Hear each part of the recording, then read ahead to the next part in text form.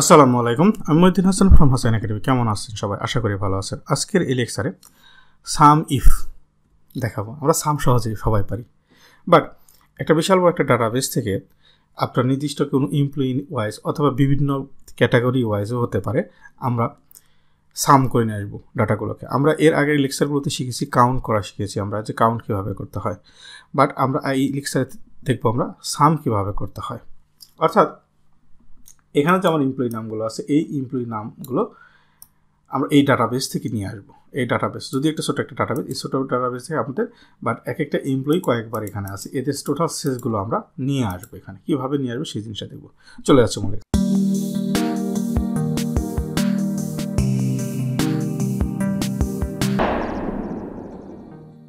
তো আমরা শুরুতেই বলতেছিলাম যে এখানে আমাদের যে এমপ্লয়িগুলো আছে, এই এমপ্লয়ি ওয়াইজ এই ডাটাবেস ওয়ান থেকে আমাদের ডাটাগুলো নিয়ে আসব। যেমন এখানে রায়হান, আমরা রায়হান এখানে আছে এখানে আছে। আমাদের এই রায়হান এই রায়হান, আরও রায়হান আছে আমাদের এখানে। দেন, ধরে নিচ্ছি দুই, তিনজন রায়হান, তিনটা রায়হানের নাম আছে এখানে। এই রায়হানের শেষগুলো আমরা অটোমেটিক যুগ এখানে হয়ে যাবে আমাদের এখানে। জাস্ট একটা ছোট্ট ফর্মুলা দেয় আমরা অনেকে যদি, অন্যরা যদি কেউ করতে চায় তাহলে কী করব? আমরা যারা এক্সেল না পারে তারা কী করব? এখানে ফিল্টার করব। আর এখানে না ফিল্টারটা হবে এখানে আমাদের। এখানে ফিল্টার করব আমরা। এখানে আমরা রায়হান নামে যে আছে, এখানে অনেকেই যেহেতু আছে, ওখান থেকে আমাদের বের করতে আমাদের কিন্তু সমস্যা। আমরা রায়হানের যে সেলস এই সেলসটা এইভাবে আমরা ওখানে নেব। তো এইটাকে যদি আমরা শর্টকাট একটা ওয়েতে অর্থাৎ ছোট্ট একটা ফর্মুলার মাধ্যমে নিতে পারি, তাহলে কেমন হয়? আমরা সাম ইফ ফর্মুলার মাধ্যমে নেব। ইকাল টু দিয়ে সাম ইফকে যদি আমরা কল করি সাম ইফ সাম ইফ এখানে ফর্মুলা আমাদের কি বলতেছে? আমরা এই জিনিসটা দেখব। এই ফর্মুলাটা বুঝব। রেঞ্জ। রেঞ্জ কোনটা? রেঞ্জ আমাদের এইটা নাকি এইটা? এইটা রেঞ্জ। Employee range. এখানে মাল্টি মাল্টি মাল্টিপল এই এমপ্লয়ি ওয়াইজ অর্থাৎ এখানে রেঞ্জ ক্রাইটেরিয়া রেঞ্জ কি? এইটা। এইটা রেঞ্জ। রেঞ্জ। এবং ক্রাইটেরিয়া কী হবে? এই এমপ্লয়ি নেম আছে। তাহলে কমা অর্থাৎ কমা দেবো এই এমপ্লয়ি ক্রাইটেরিয়া এখন আরেকটা কমা দিতে হবে বাইটি মানে একটা ফর্মুলা কারণ এখানে কি বলতেছে? আমরা রেঞ্জ এই এমপ্লয়ি নেমের রেঞ্জের সাথে এই এমপ্লয়ি নেম বেরোবে এখন বলতেছে তারপরে আমরা ক্রাইটেরিয়া দিয়ে ফেলছি রায়হানকে। অর্থাৎ বি কলামে বি সেভেনে রায়হান আছে, রায়হানকে আমরা ক্রাইটেরিয়া দিয়ে ফেলেছি। এখন বলতেছে সাম রেঞ্জ সাম রেঞ্জ তাহলে আমরা সাম কাকে করব? এই যে সাম যেখানে হবে, যে রেঞ্জটা অর্থাৎ যেগুলোকে সাম করে নিয়ে আসব, এখানে এইচ কলামে ওটা টোটাল কেজি এটা, এটাই হচ্ছিল সাম রেঞ্জ তাহলে এখন আমরা যদি এটাকে ক্লোজ করি, আমরা একটু ফর্মুলাটা আবার একটু রিভিউ করি। প্রথমে কি বলতেছে আমাদের এখানে?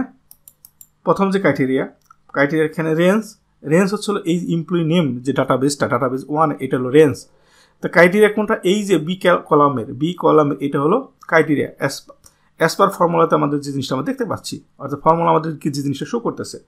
এবং তৃতীয় একটা কথা লিখতেছে সাম রেঞ্জ তাহলে সাম, আমরা যে এই যে এমপ্লয়ি নেম এগেনস্টে আমরা কাকে সাম করে নিয়ে আসব? আমরা টোটাল কেজি যে সেটা আছে এই কলামে একে সাম করে নিয়ে আসব। তো আমাদের ফর্মুলাটা হয়ে গেল। এখন আমি যেহেতু এই ফর্মুলাটা আমরা এইখানে লিখেছি, অর্থাৎ এই সি কলামের